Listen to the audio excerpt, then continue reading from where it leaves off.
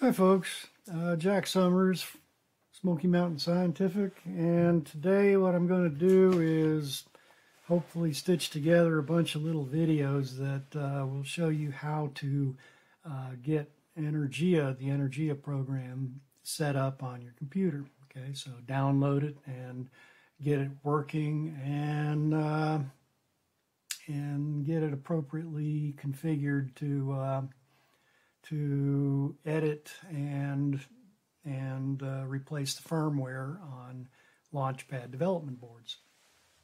All right, so I made these uh, I made these videos first, and uh, I've got some some uh, mistakes I made, and well, we'll just kind of do what we do. Anyway, what you're going to have to do is you have a couple of files you need to download. You need to download the Energia program from energia.nu. Uh, you go there, find the download link, and uh, download the, the program onto your computer. All right, there's also a driver file that you need to, to find. You'll uh, you'll have to look on Google Google for uh, uh, Launchpad Tiva T I V A and driver, and that should get you to the Stellaris ICDI driver file uh, download page. Anyway, you dry, you uh, download that, and then you need to uh, you need to go into Device Manager and get get the uh, the drivers for the the Launchpad uh, set up properly. Okay, that's something I screwed up in the in the um, in the videos. So uh, I screwed it up initially, but we got it figured out, and hopefully you'll be able to follow uh, how to do this and and all like that. Yeah, see, I, I use Energia all the time, but uh, this this tutorial is about getting it set up on a new computer that does not have it set up. And this is things these are things I don't do every day or every time I use the use the tool. So it's not things that I'm, I'm that are top of mind.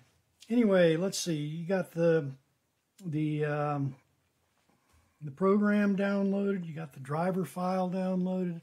There's a library that does not come with Energia that is needed to run uh, the instrument that I'm going to be working with in, in subsequent videos. This is something that's used um, as in, uh, in communicating with one of the chips on my board. Uh, it uses serial peripheral interface and it uses a 16-bit word. You have to transfer a 16-bit word and to do that I had to write a small library file and it's called alt SPI and you'll see in the in the videos that I screwed this up the first time I went through it. I forgot to download it.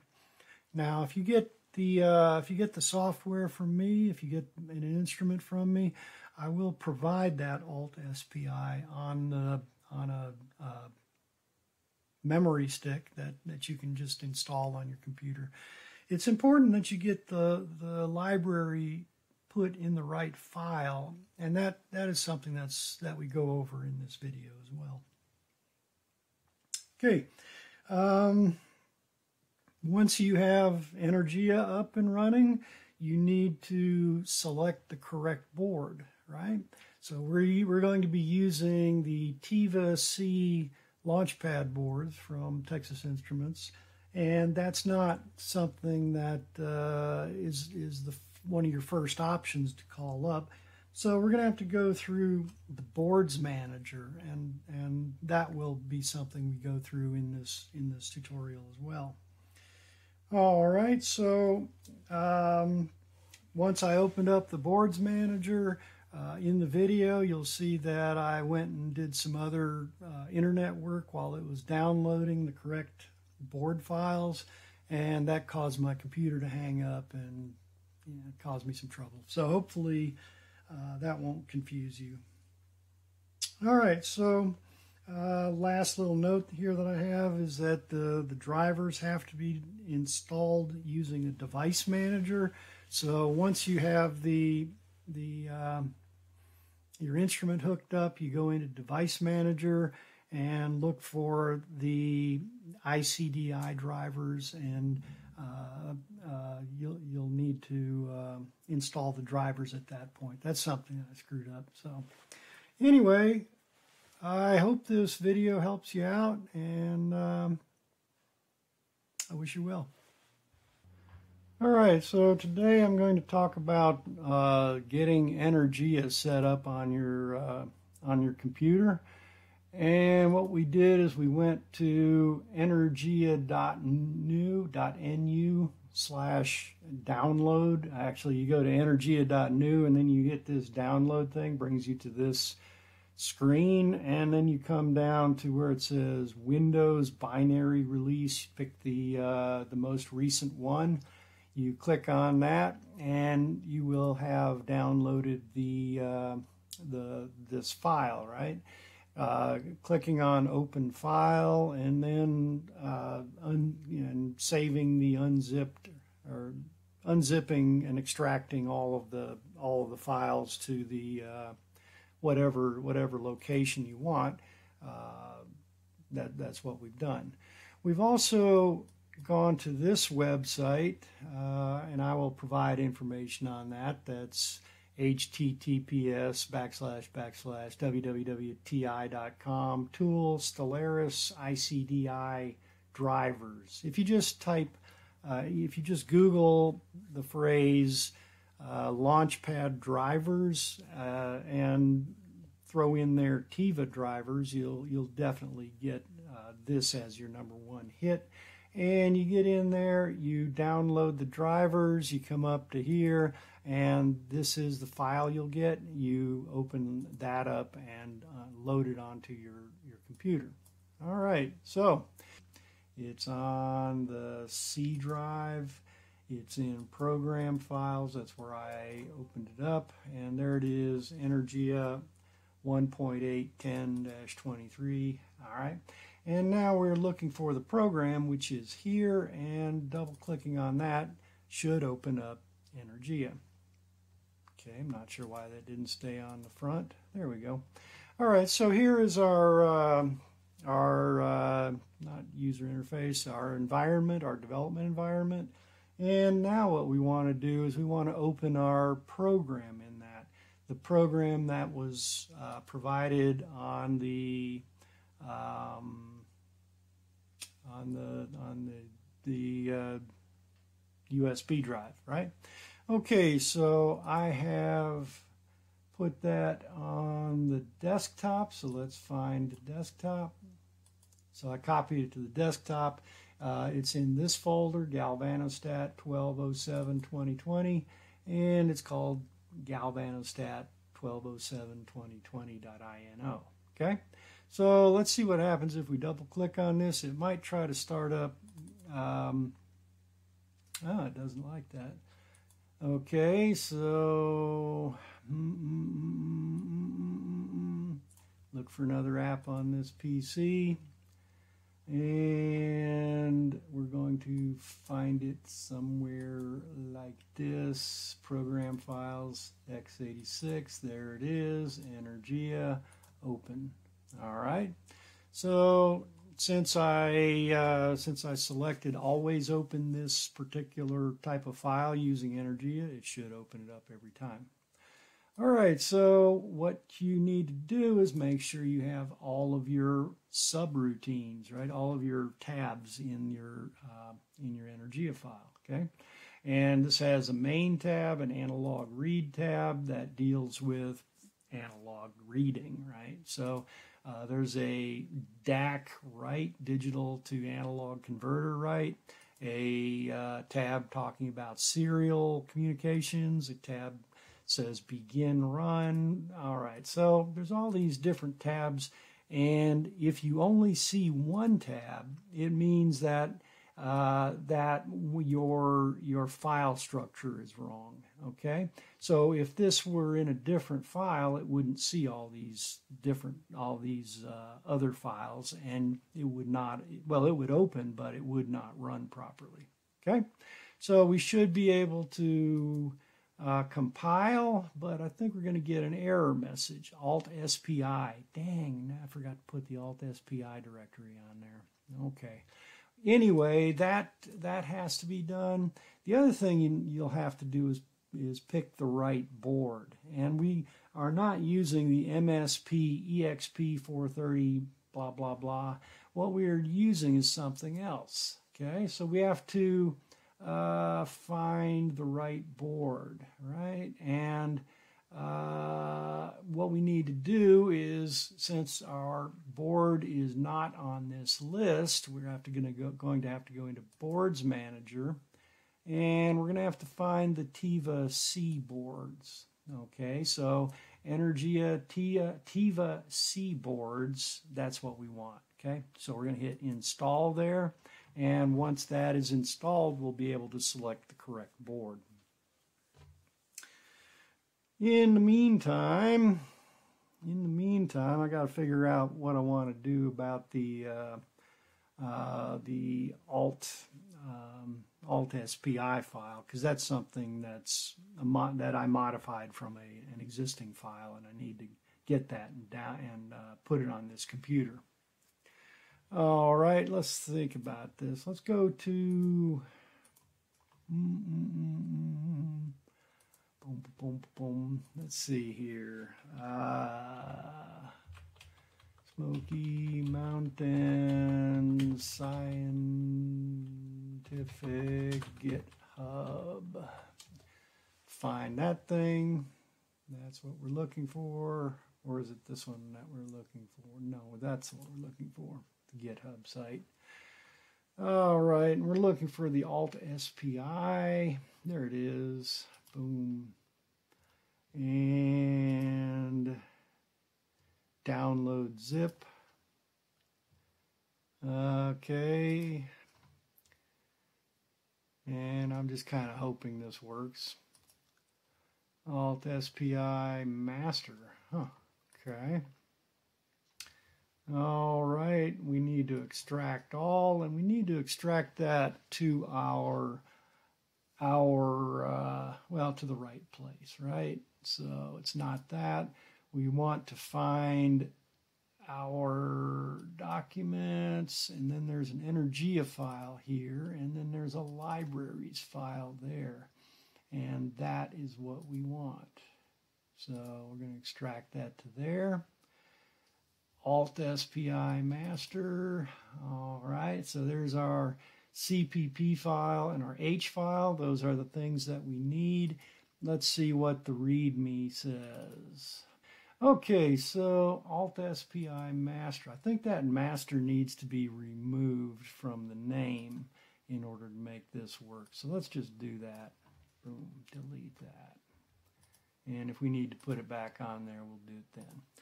All right, so we're still installing the uh, the boards manager, the uh, and I guess I'll be editing some some stuff out of this. Uh, when it finishes, we'll deal with that.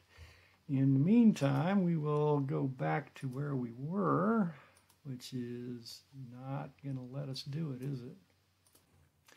All right, so we uh, we had a little issue there. My computer hung up while we were downloading and installing the uh, from the boards manager, right? So now I uh, restarted the computer and and downloaded and installed these Energy Tiva C boards. So it says installed, and we're just going to take it at its word that that worked. So close that up. Um, now you can see that I got another error message when I compiled. All right, so we uh, we had an error message you can see here. It says error compiling for board MSP 430 la la la la. It says down here that that board that's the board we're using, right?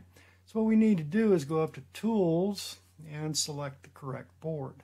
We just uh, we just downloaded the boards manager, the Tiva C options, the one we want is the TM uh, TM4C 123 80 megahertz. So we'll select that.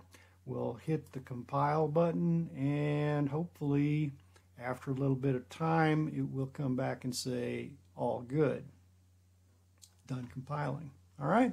So last time we, uh, well, in the earlier time when we compiled, we had a problem because it did not have this library installed, It's altspi.h. And I went to the GitHub site and downloaded that.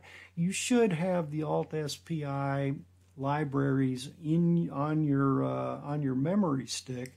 So let's go in here and show you something about where they go. Okay, so we're going to go into File and then Preferences, and this will tell you where your sketchbook is. Okay, and it needs to go in a library folder in the sketchbook. You can see my sketchbook location is C Users Summers Documents Energia and we'll say okay to that. And we will find us man everything's a mess here.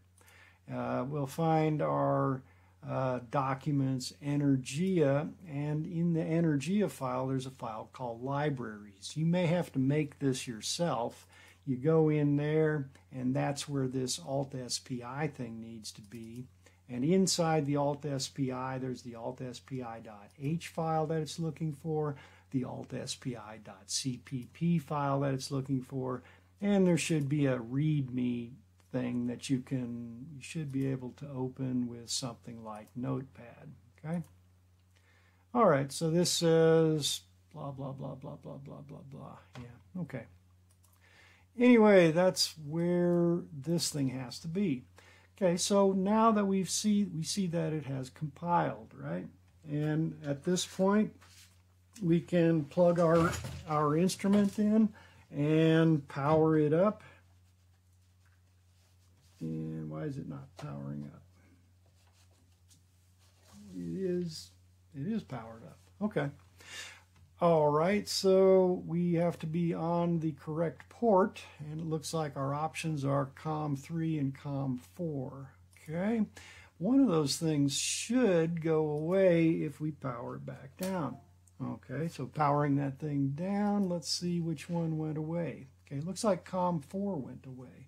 So what we need to do is power it back up, and now we select COM4 COM port 4 and upload the program. All right. Might take a little bit of time. Uh-oh, serial port failed. Operation was aborted. That looks like it's working. All right, so let's see. Last time we were having trouble. Uh, the selected serial port failed, right? And after screwing around a little bit, it occurred to me that our drivers we never installed. Okay, so what we need to do is go to the the device manager Ah, let's see. We have other devices, and let's see what happens when we click on one of these things. Okay. And uh, let's see, drivers for this device are not installed. No compatible drivers. To find one, update the driver. Okay, let's see what happens when we do that. Okay, uh, what we want to do is not automatically search. We downloaded these things, right? And they're not in that place. They are in, let's see, I put them on the uh, program files under C. And somewhere in here it's going to say Launchpad ICDI drivers because that's what I called it. Okay, so, hmm. Stellaris, and I'm not sure which of these I should be using. Uh, uh, uh, that one perhaps. Uh, let's just click on that one and say, let's see what it does. Next. Now it's installing the, the uh, updating the drivers, installing them. Would you like to install this, this device software? Yes. Okay, I'm surprised it's allowing me to do this, but let's see what happens. Okay, we're still seeing some kind of issue there. Update the driver. browse for the software. Next. Okay, so it has finished installing the drivers. Okay, it's still looking, I'm not so sure about this. Let's see. It says working properly, the driver. Okay, all looks good. All right, details. Looks good. All right, so that's all looking acceptable. I don't know what the little exclamation marks are for there. Let's see what happens now when we try to upload software. We are on COM4 still, so hopefully this should work. Let's uh, compile, should compile okay. Ah, success. All right, says failed to load the dynamic library, but that happens all the time.